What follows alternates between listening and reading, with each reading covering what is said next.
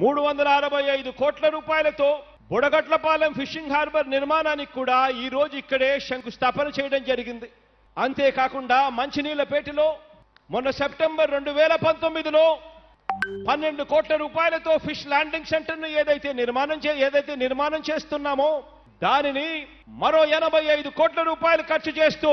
దానిని ఫిషింగ్ హార్బర్గా కూడా అప్గ్రేడ్ చేస్తా ఉన్నామని చెప్పి కూడా ఈ సందర్భంగా తెలియజేస్తా ఉన్నాను. ఇవన్నీ కూడా మత్స్యకార సోదరులకు మంచి జరగాలి అని తపన తాపత్రయంతో జరుగుతా ఉన్నాయి ఈ హార్బర్ పనుల విషయం. మత్స్యకార సోదరుల అవసరాల మేరకు ఫిషింగ్ హార్బర్లు మరోవైపున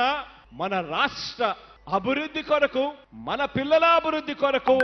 పోర్టుల నిర్మాణం కూడా చేయగలిగితే మన ఆర్థిక వ్యవస్థ కానివ్వండి మన మత్స్యకార సోదరులకు జరిగే మంచి కానివ్వండి మొత్తంగా తీర ప్రాంతంలో అంతా కూడా దీనివల్ల రాబోయే వీటి వల్ల రాబోయే ఉద్యోగ ఉపాధి అవకాశాలు కానివ్వండి ఎగుమతులు దిగుమతుల ద్వారా ఈ ప్రాంతం మొత్తం కూడా ఒక మహానగరంగా రేపు రాబోయే రోజుల్లో తీర్చిదిద్దబోయే పరిస్థితులు కానివ్వండి ఇలా అనేక మంచి మార్పులు తీసుకురావచ్చని గట్టిగా నమ్మి